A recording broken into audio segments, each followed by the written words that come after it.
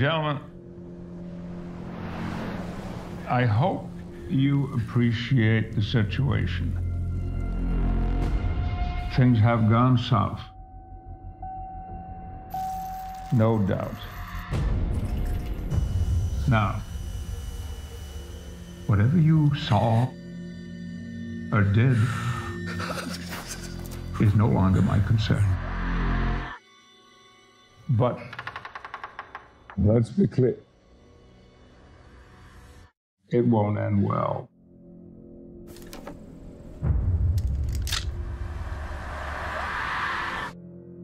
You're coming.